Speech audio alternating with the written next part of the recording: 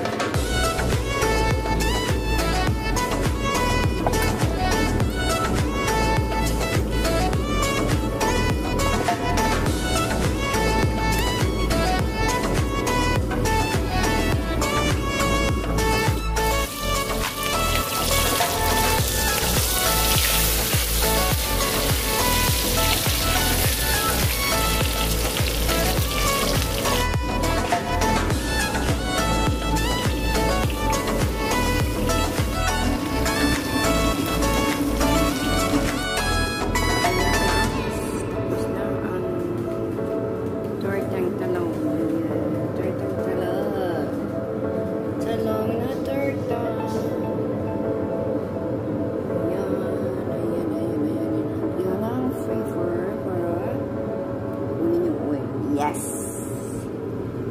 Kakain tayo guys sa tortang talong. Ayan, ayan guys. Tapos na ang aking tortang talong. Yan. Super yummy.